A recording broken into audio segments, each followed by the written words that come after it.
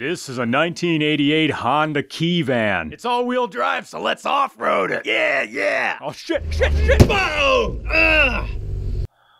Ooh, ooh, oh, oh. Everybody's okay. Everybody's okay. Nothing broken. Nothing broken. Just the just the front of the the, the car was just pushed in a little bit. Uh, okay, that how it's that was my fault. I should have predicted this, but everything's okay. And Troy, the owner, says, "Look, and let's let's just fast forward to the end. It's fine. He fixed it. It's just a metal car. That's the thing about the kei vans in the 80s. They're they're they're all metal. So he just got in, he tapped it all out, fresh just little touch-up paint. It's all good. So throughout this video, the the shots are gonna move in between uh, the car with a dent in the front and not a dent in the front. But uh, thank goodness it was just uh, an, uh, a Honda Kei van uh, got backed into by a Daihatsu mini truck, so or a Daihatsu Kei truck, so we're all good. Anyway, let me tell you about Japan. Japan is better than everything. This van is Japan. Imported a car from Japan. Imported a van from Japan. This is how they drive in Japan. This is where they drive in Japan. This is how they Japan in Japan. Talking about kei vans, the automotive equivalent of talking about those weird flavors of Kit Kats. Everything about this car is weird, and not just the other side of the car steering from where you sit and turn the wheel. The accelerator pedal doesn't travel very far, so it's more like a switch. Either you're in motion or you're retreating. A kei van is a car you buy so you can just smirk at everybody. See, I'm just, I'm going just as fast as you. I got three cylinders, I got 37 horsepower, but I still got all wheel drive. Driving this car is one big how to be there inside joke. You import one of these chiropractor dream cars so you can park at Sam Ash Music, get out of the van, and look back and, hmm.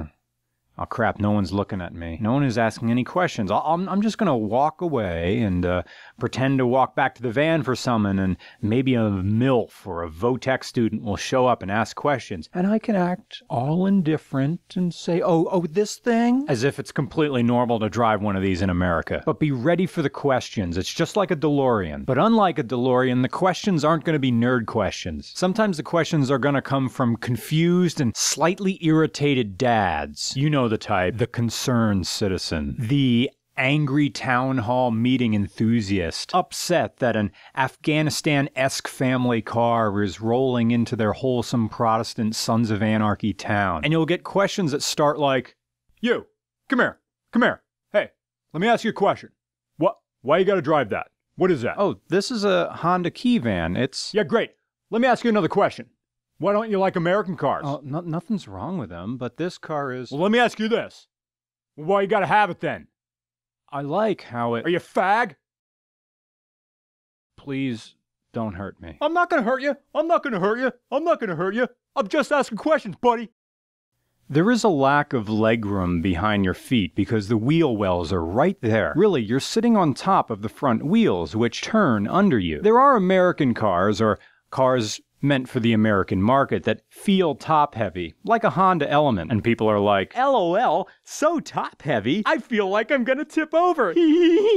Remember to like, comment, and subscribe. I shoot up serotonin like Tamaqua heroin addicts so I can be Good Morning America cheerful. A kei van will tip over. I wasn't relaxed driving this. A 1988 Honda ACTY, I don't know how to pronounce that, street kei van is just one big box of anxiety. We're not trained to drive these things. It does have a five speed, and the gears are pretty close because you need every single one of these gears. But when you're rolling on the highway, people notice you. Hello, Mr. Audi. I'm so much hipper than you. Oh, I see you looking. I see you looking.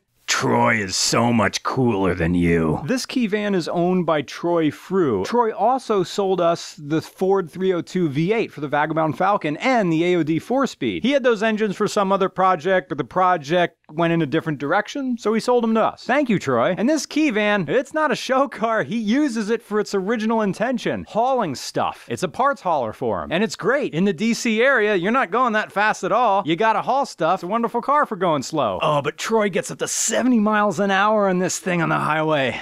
He's got brass balls. Fairfax County, white people. The city, this kei van also has air conditioning. All right, three cylinder, 550 cc's, 37 horsepower, AC. Sure, I'm gonna turn that on. Suspension, leaf springs in the back, really tiny coilovers in the front, and ooh, oh, oh, oh, did you notice something? Guess where the radiator is? Underneath, facing down, parallel to the street. It sucks up from the bottom. Behind the radiator is the spare tire, which is held in by rod clamps similar to an old school dual brake master cylinder reservoir cap or a 1970s motorcycle carburetor float bowl. The clutch grabs like a track bike clutch. Like it has a friction zone the width of this mechanical right pencil tip, which I'm riding right bare now. minimum uh, safety. Whoa, this thing rocks. So, yeah, Okay, we gotta this make a turn. We're taking this left. Ah! Are you serious? Ah!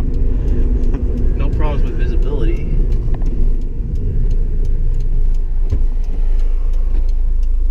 All right, you sure you're in gear? You're, you're not in third, are you? No, we pulled. Let it out. Easy, easy, easy, easy, easy, and there we go.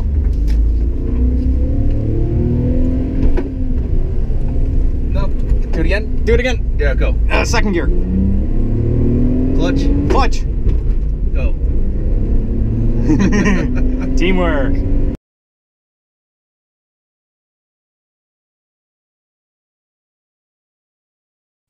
Troy, you're a better man than me to be able to daily this thing. So thank you very much, Troy, for letting us drive this and being our companion and father confessor throughout this whole trip and our off road extravaganza. And thank you for keeping something like this on the road. You remind us that the world is so much larger than our highways and back roads, and that the automotive animal kingdom has pockets and branches that we never see here. I salute you, Troy. Thank you for keeping this on the road.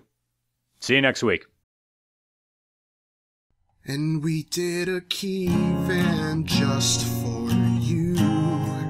Imported from Japan, it's true. Golf shirts are to me like a Honda kei van shoving you. Oh, for crying out loud, who's calling me now?